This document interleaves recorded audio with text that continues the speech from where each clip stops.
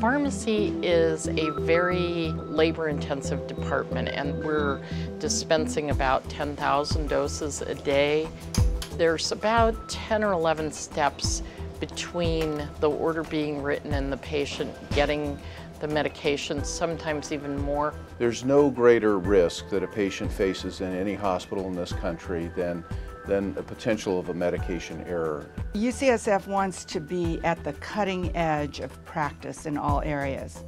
And by implementing robotic pharmacy, we will assure that the right patient gets the right medication at the right time. In October of 2010, UCSF opened this facility at Mission Bay that is our production pharmacy. It is robotic and everything is barcoded. It gives us the first important step in eliminating the potential for human error. This process automates and follows the medication all the way from our receipt from the manufacturer to the bedside. Different from the traditional pharmacy, our medications are all stored in boxes inside of this robot. This equipment is able to take bulk medications, a bottle of 100 tablets or 1,000 tablets, and it packages, labels, and stores the medication.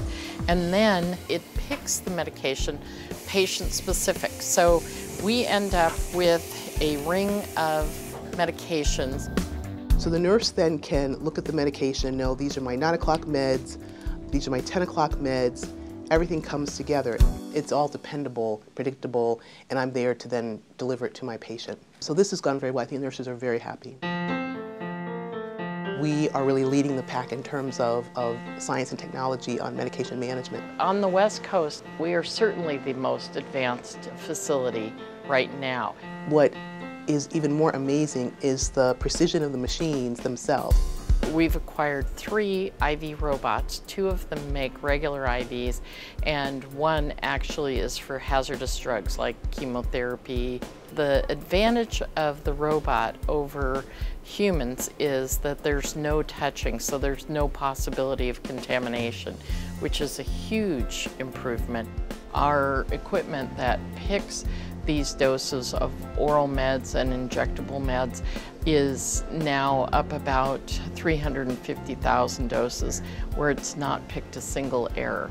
The beauty of this robotic pharmacy system is that the pharmacist is taken out of that mechanical aspect of pharmacy practice and they can use their intellect to be sure that the patients at the bedside are getting absolutely the right medicine. So this is a part of creating a safe system. The medical center and the School of Pharmacy are closely aligned. And so for students, it is an opportunity to see where pharmacy is going. They will see that this is one aspect of technology that will be implemented into patient care. I think we're fortunate to have a wonderful set of pharmacists here at UCSF that, you know, really do get it in terms of patient care as well. With medication issues being such a prominent part of every patient's care in the hospital, uh, we thought this was an investment well worth making, and, and I think that will be proven over the coming years.